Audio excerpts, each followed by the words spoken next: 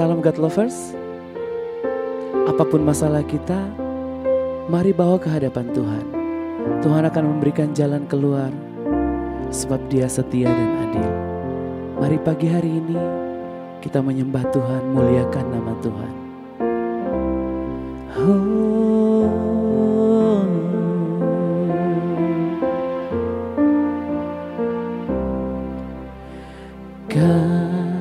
Kasih setiamu Tuhan. Lebih dari hidupku. Jalan-jalanmu ya Tuhan. Terbaik bagiku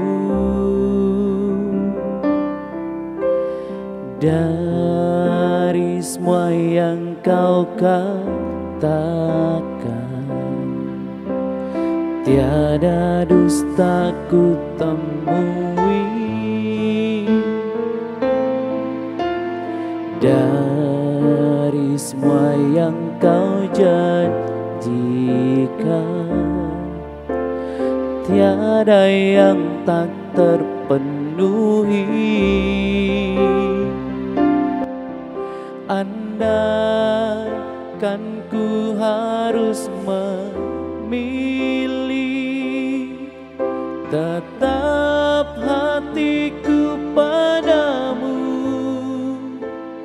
Tak satu pun dapat menggantikanmu Hanya kau yang berarti bagiku.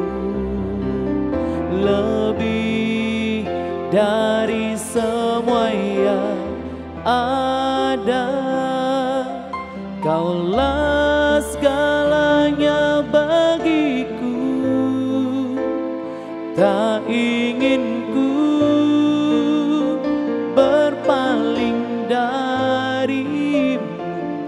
Selamanya ku akan menyembahmu Tuhan. Oh Selamanya kami menyembahmu Tuhan. Sebab kau layak terima pujian. Kau pusat penyembahan kami Kau Allah yang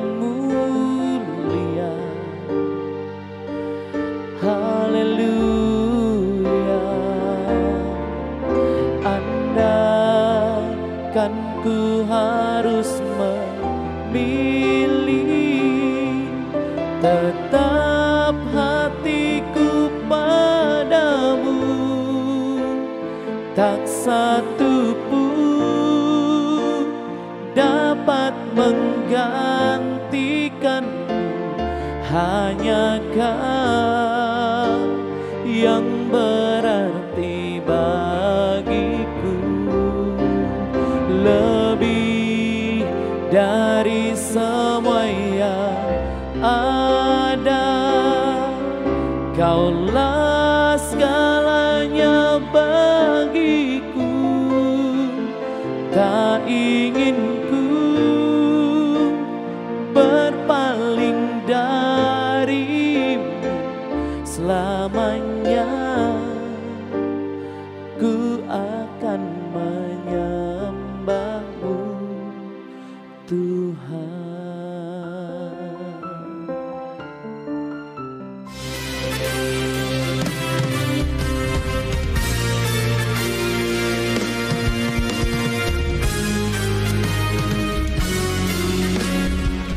Saudara-saudara, catat tanggal dan waktunya pada hari Jumat tanggal 22 Desember 2023 pukul 18. Jangan ketinggalan, kita akan mendengarkan kesaksian dan pujian dari Ana Serli tentunya saudara ingat, ibu dari si Entong. Lalu Saiful dan istri seniman Jawa Barat yang akan melantunkan kecapi. Juga Danang serta Maria yang akan memberikan kesaksian hidup dan melantunkan lagu rohani ciptaan mereka sendiri. Dan tidak lupa dimeriahkan dengan bintang tamu yaitu Betawi Bermasmur dan Ruth Sihotang Expector Indonesia. Sampai, bertemu di GKRI Diaspora City Center, Tamrin City, lantai 6.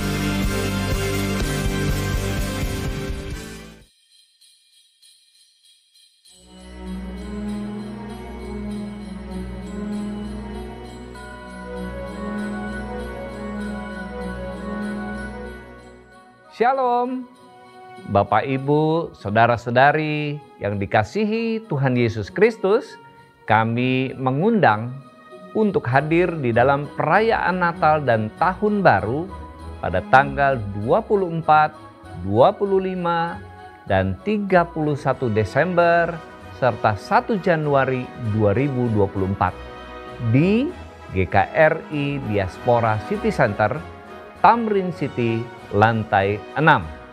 Kami menunggu kehadiran Bapak Ibu Saudara-saudari dan jangan lupa mengajak saudara, keluarga, dan teman-teman. Tuhan memberkati. Haleluya, Shalom God's Lover bertemu kembali dalam program Word from Heaven.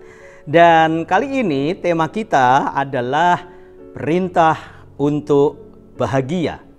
Saudaraku yang disayangi oleh Tuhan Yesus, siapa sih di antara kita manusia yang sadar, kemudian yang waras, nggak mau hidup bahagia? Semuanya pasti mau karena kebahagiaan itu adalah sebuah kemutlakan dari setiap tujuan kita. Misalnya dalam berkeluarga kita punya cita-cita agar hidup kita bahagia. Kemudian dalam kerja kita, kita juga berharap melalui kerja ada hasil yang membuat hidup kita bahagia. Termasuk di dalam pelayanan. Kita menikmati ibadah dengan demikian antusias, begitu sakralnya, pujiannya begitu indah kita nyanyikan Kemudian firman begitu baik untuk kita dengarkan dan sekaligus itu menjadi sebuah perintah untuk kita lakukan. Dan itu sangat baik dan itu mendatangkan sukacita bahagia buat kita. Apalagi ini adalah perintah Tuhan yang Tuhan perintahkan buat kita agar supaya hidup kita pun bisa bahagia karena ini adalah tujuan kita dalam pengiringan kepada Tuhan, dalam membangun kehidupan, baik sekarang maupun masa yang akan datang. Maka, kalau saudara tanya sama saya, "Pak Pendeta, kira-kira bahagia itu apa sih?" Bahagia itu adalah bebas dari tekanan hidup, karena jujur saja, saudara, keadaan, persoalan, pergumulan itu rajin berkunjung dalam rumah hidup kita. Kadangkala persoalan pergumulan masalah itu sangat mengganggu dan merusak kebahagiaan kita. Tetapi kalau perintah Tuhan agar supaya kita hidup bahagia, nah sekalipun ada persoalan, sekalipun ada pergumulan, tetapi kalau itu adalah perintah, maka kita harus lakukan.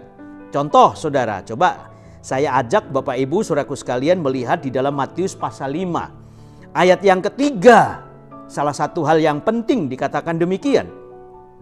Berbahagialah orang yang miskin di hadapan Allah, karena merekalah yang empunya kerajaan surga. Wah, berbahagialah orang yang miskin di hadapan Tuhan, karena merekalah yang empunya kerajaan surga. Wah, maksudnya apa, pendeta? Tuhan menghendaki agar kita menikmati hidup bahagia bukan karena kita berada di tengah-tengah kemiskinan lantas kita tidak boleh bahagia. Tidak bisa dong saudara. Selama kita masih hidup di dunia ini dan ini merupakan perintah itu harus kita lakukan. Miskin di hadapan Tuhan itu maksudnya apa? Maksudnya adalah di tengah-tengah ketidakmampuan kita, di tengah-tengah ketidakberdayaan kita, di tengah-tengah kekurangan kita, jangan menjadi hambatan untuk bisa bertemu dengan Tuhan. Jadi kemiskinan itu saudara bukan persoalan yang sangat menghambat sehingga kita tidak bisa beribadah untuk bertemu dengan Tuhan lewat roh dan kebenaran. Tidak bisa saudara. Begitu radikalnya kita harus menikmati bahagia sekalipun di tengah-tengah keadaan yang mungkin orang lain melihat kita papa. Kemudian kita berpikir kita tidak berdaya, Apakah itu semua menghambat kita untuk bertemu dengan Tuhan? Kan tidak, saudara. Karena bahagia itu Tuhan perintahkan buat kita. Yang pertama, saudara, kenapa perintah hidup bahagia harus kita taati? Karena itu adalah perintah Tuhan. Kenapa, saudara? Karena bahagia itu bukan soal harta, bukan soal miskin, bukan soal kaya, tetapi soal hati. Hati yang seperti apa saudara? Hati itu adalah pusat kediaman roh yang ada di dalam diri kita. Maka kalau roh berdiam di tengah-tengah hati kita, sekalipun kita mungkin kekurangan, itu tidak berpengaruh sama sekali saudara. Kenapa? Karena Tuhan mampu merubah kehidupan kita yang tidak baik jadi baik. Bilang amin saudara. Ya, ini adalah fokus utama kita bahwa bahagia itu soal hati, bukan masalah cien, fulus, duit, hepeng. Hati yang harus kita benahi untuk menerima semua keadaan yang Tuhan beri untuk kita nikmati, saudara. Untuk menikmati kemiskinan, ya, supaya nanti kalau Tuhan berkati kita menjadi orang yang hebat dan dahsyat, atau bahasanya adalah orang yang kaya, engkau tidak kaget terhadap kekayaanmu. Engkau sudah siap. Kenapa? Engkau pernah miskin. Biasanya orang yang udah biasa miskin, saudara, begitu diberkati oleh Tuhan, dia tahu bersyukur kepada Tuhan. Dan ini yang menjadi menarik, menjadi penting. Sehingga kita tidak mengandalkan kekayaan yang kita punya, tetapi kita mengandalkan Tuhan. Amin. Ya. Nah yang kedua saudara, kenapa perintah hidup bahagia? Karena bahagia itu bukan hanya soal hati saja, tetapi bahagia itu soal ketaatan. Apa itu ketaatan? Ketaatan itu adalah kesadaran untuk mematuhi semua perintah Tuhan dalam membangun setiap kehidupan rohani kita. Soal ketaatan. Taat itu tidak pernah bantah perintah Tuhan, saudara. Orang yang taat tidak pernah mau bantah perintah Tuhan. Ya, sekalipun mungkin dia menjalani situasi itu sulit tetapi dia tidak melihat kesulitannya. Dia belajar untuk menemukan jalan keluarnya. Nah, itu taat. Karena ada firman berkata, pencobaan-pencobaan yang engkau alami tidak melebihi kekuatanmu. Kalau kita tahu, kita sadar bahwa Tuhan ada di pihak kita, maka Tuhan akan memberikan jalan keluar buat kita. Kalau Tuhan memberikan jalan keluar buat kita, saudara pahami maksud Tuhan bahwa Tuhan tidak menghendaki hidup kita itu miskin selama-lamanya kok saudara. Karena miskin kan hanya sebuah keadaan. Dan kita mampu merubah. Dan miskin itu bukan takdir saudara. Karena kekristenan tidak pernah mengenal yang namanya takdir. Yang kita tahu Tuhan punya rencana yang indah buat kehidupan kita. Maka tugasmu dan tugasku saudara untuk menikmati bahagia Jangan pernah kita justru cenderung mengalami suatu keadaan, aduh kayaknya saya udah tidak mampu, saya orang miskin. No, no, no, no, no, no. Saudara diciptakan untuk tidak jadi orang miskin, tetapi menjadi orang percaya yang taat kepada Tuhan. Dan ini yang menjadi menarik. Sukses buat Bapak Ibu Saudaraku sekalian dan biarlah firman Tuhan ini jadi berkat buat kita semua. Haleluya. Mari kita berdoa. Tuhan kami bersyukur berterima kasih buat segala kebaikan dan kemurahan-Mu yang Tuhan nyatakan bagi setiap kehidupan kami. Kalau hari ini kami juga telah menerima berkat firman Tuhan, metrekanlah firman-Mu dalam setiap hati kami. Jangan hanya kami pandai untuk mendengar, tetapi kami pandai untuk melakukannya. Biar firman-Mu menerangi setiap pikiran kami dan batin kami untuk melihat penyertaan Tuhan yang sempurna.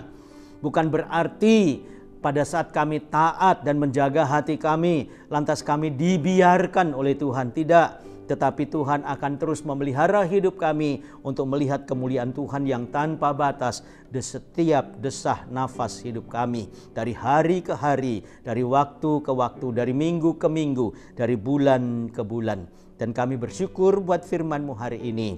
Hambamu berhenti berbicara, tetapi roh kudus terus berbicara, menyempurnakan setiap firman yang kami dengar. Sehingga hidup kami berpadanan dengan kehendak Tuhan yang sempurna. Hanya di dalam nama Tuhan Yesus Kristus kami berdoa. Haleluya. Amin.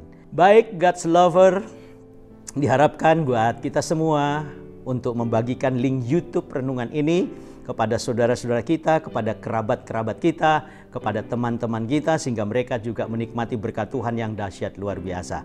Sukses buat saudara. Terima kasih dan Tuhan Yesus memberkati. thank you